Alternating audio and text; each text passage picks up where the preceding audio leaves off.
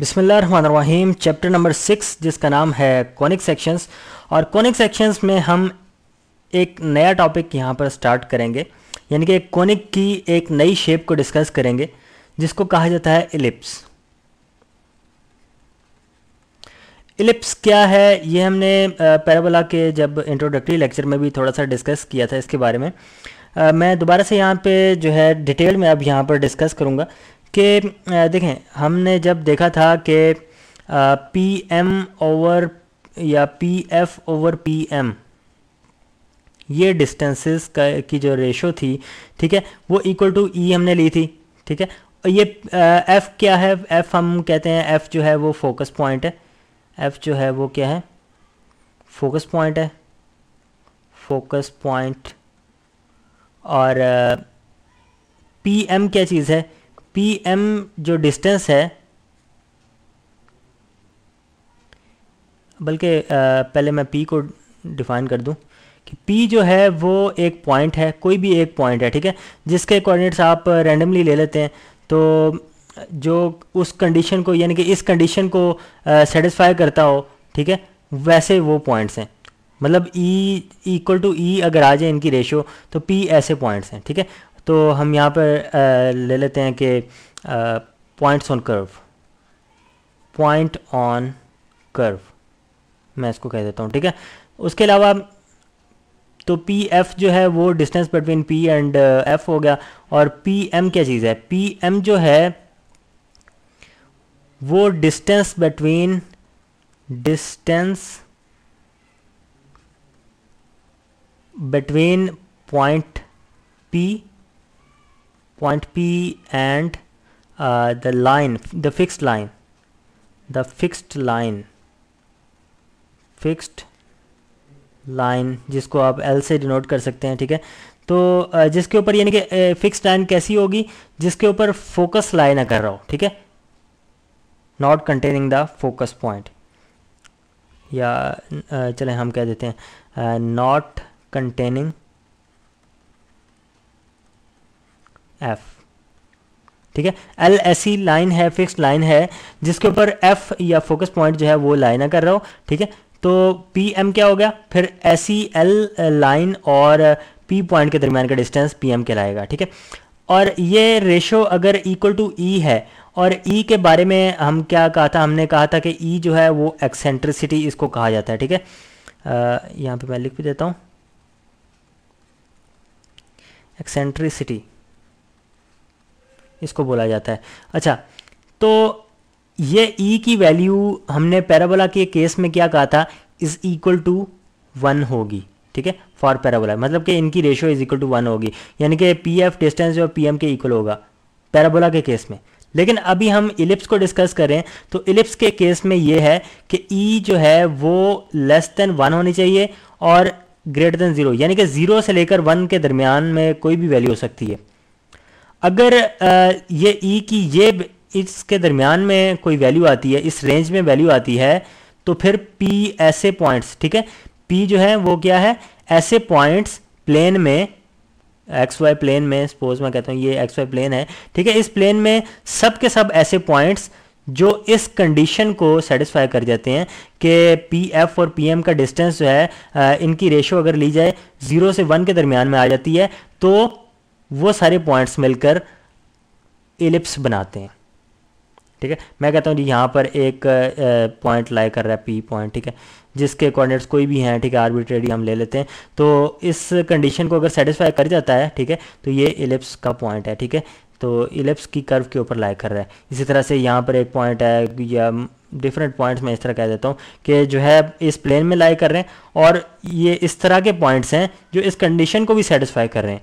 तब जाके ये इलिप्स के ऊपर लाई कर रहे होंगे। ठीक है? तो ये चीज़ आपने ज़रा माइंड में रखनी है। अच्छा इस एल लाइन को मैंने आ, जो है वो ये नहीं बताया कि इसको डायरेक्ट्रिक्स कहते हैं। ये हमने देखा था पैराबोला के केस में भी, ठीक है? तो ये फिक्स लाइन उस केस में भी होती है। अच्छा अब थोड़ा सा हम जो है, एलिप्स की स्टैंडर्ड फॉर्म की तरफ़ आ जाते हैं, ठीक है? मैं सबसे पहले एक्स वाई एक्सिस जो है यहाँ पर ड्रॉ कर लेता हूँ एक्स वाई प्लेन बना लेता हूँ। ये हमारे पास सपोज़ एक वर्टिकल लाइन है, ठीक है? तो इस लाइन को हम कहेंगे, ये वाई एक्सिस है। ये क्या है? ये वाई एक्सिस है। Y positive and y dash अच्छा उसके अलावा एक हम जो है एक हॉरिजॉन्टल लाइन भी बना लेते हैं इस तरह से, ठीक है? ये एक हॉरिजॉन्टल लाइन है, इसको भी मैं स्ट्रेट और हॉरिजॉन्टल कर लेता हूँ ताकि हमारे पास एक एक्स वाई प्लेन आ जाए। ये देखें, हमारे पास जो है एक एक्स वाई प्लेन आ चुकी है, ठीक है? तो इसको चले हम ये कह देते हैं, ये एक्स एक्सिस है, ठीक है? और ये वाई एक्सिस है, ये ओरिजिन पॉइंट है, इसको हम ओ कह देते हैं, ठीक है? उसके अलावा आप देखें इलिप्स में क्या क्या चीज़ें शामिल होंगी, वो यहाँ पर मैं डिस्कस करता हूँ। सपोज़ मैं कहता हूँ यहाँ पर फोकस पॉइंट की हमने बात की थी शुरू में तो फोकस पॉइंट यहाँ पर लाए कर रहा है, ठीक है? मैं कहता हूँ कि फोकस पॉइंट अगर यहाँ पर लाइक कर रहा है तो इसके कोऑर्डिनेट्स मैं सपोज़ ले लेता हूँ माइनस सी कॉमा ज़ीरो हालाँकि यहाँ पे जो है पॉजिटिव साइड पे जो है एक्स कोऑर्डिनेट नेगेटिव नहीं होना चाहिए, लेकिन मैं सपोज़ कर रहा हूँ कि ये हमारे पास जो है माइनस सी कॉमा ज़ीरो इसके कोऑर्डिनेट्स हैं फोकस पॉइंट के, ठीक है? उसके बाद जो है, मैं कहता हूँ कि ये, बल्कि हम ये इसको कहते हैं, ये ओरिजिन हम लेते ही नहीं है ये लाइन ठीक है? वर्टिकल लाइन लेते ही नहीं है। क्योंकि यहाँ पर फिर वो हो जाता है कि ये लाइन जो है, ये मतलब इसके कोऑर्डिनेट्स ये नेगेटिव क्यों है? ठीक है, हम कहते हैं बस ये लाई कर रहा है यहाँ पर नेगेटिव एक्सेस यानी कि ओरिजिन से लेफ़्ट साइड पे लाई कर रहा है, ठीक है? हम इस तरह से ले लेते हैं। तो अब तो वो नहीं है कि ये नेगेटिव क्यों है। अच्छा अब एक और मैं लाइन यहाँ पर ड्रॉ करूँगा, ठीक है?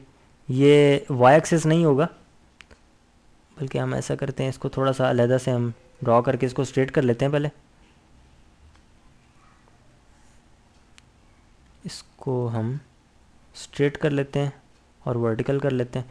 ठीक है, इस तरह से मैं ये लाइन ड्रॉ कर रहा हूँ और वर्टिकल लाइन है।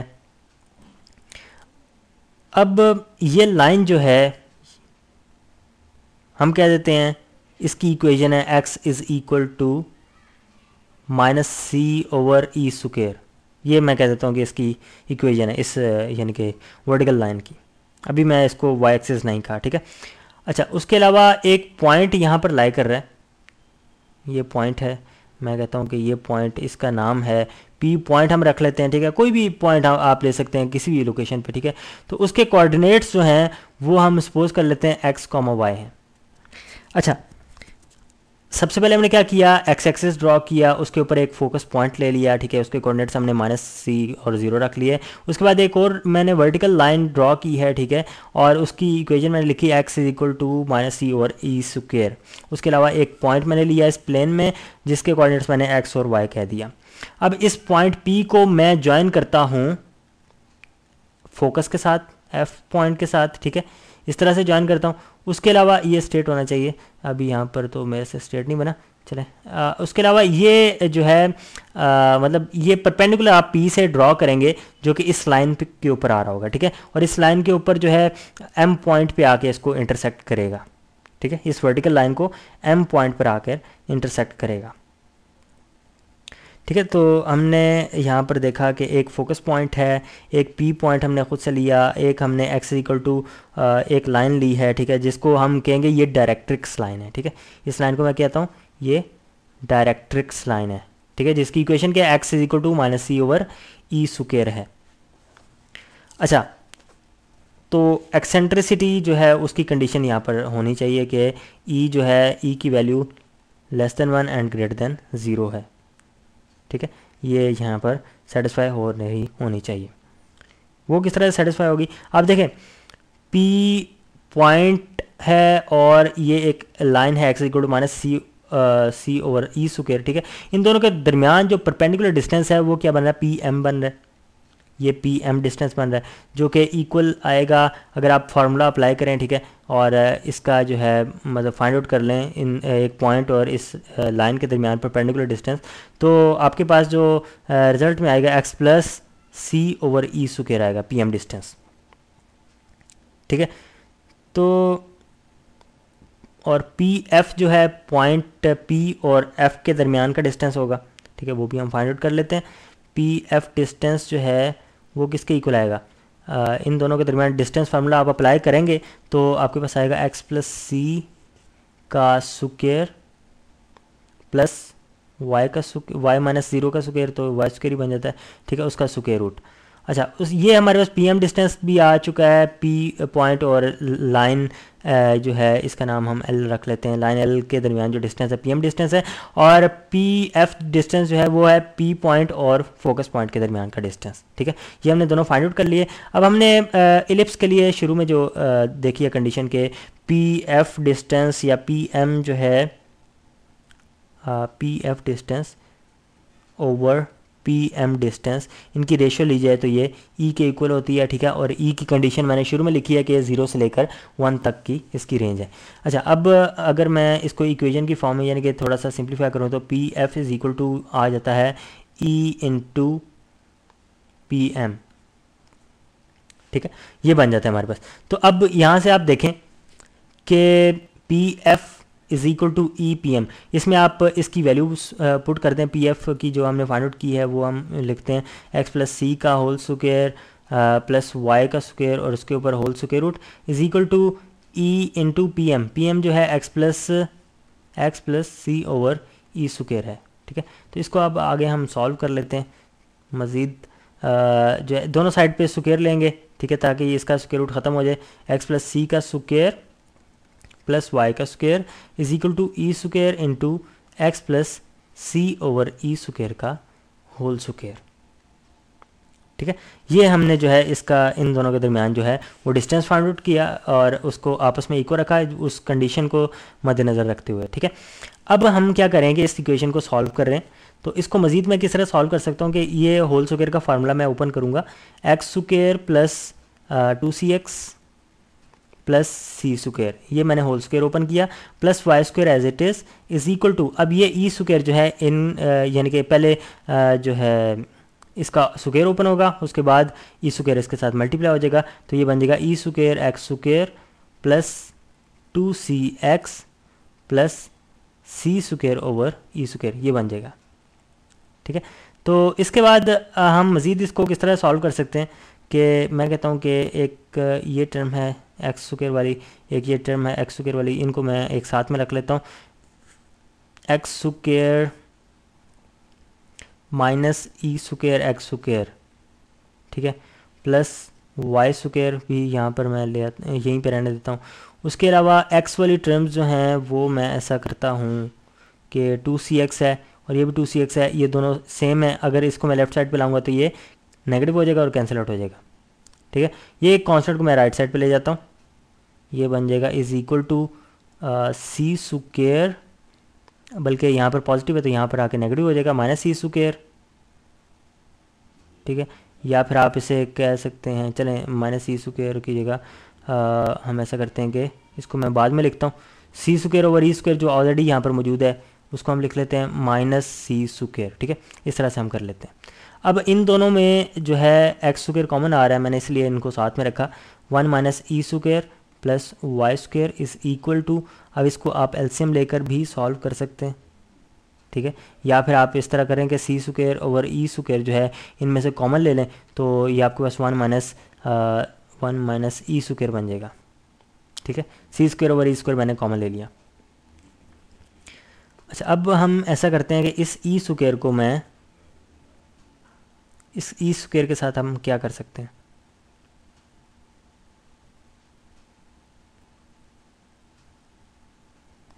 इस ई स्क्वेयर के साथ अभी हम कुछ नहीं करेंगे, क्योंकि सी ओवर ई जो है, हम ऐसा करते हैं कि सपोज़ कर लेते हैं।